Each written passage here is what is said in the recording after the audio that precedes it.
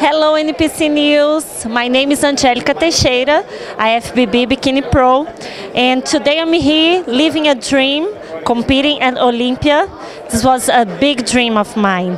So I'm here today because I can say it's because of the NPC. The NPC means so much to me. I did 20 shows with the NPC before turning pro because I had to compete a lot, win overalls.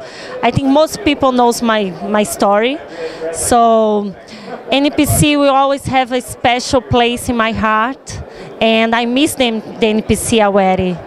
And I just want to say hi to everybody, you know, and see all the girls that start competing with NPC. Enjoy, enjoy the NPC because that's where you get stronger and, you know, you, you're going to grow and you're going to learn so much. Okay?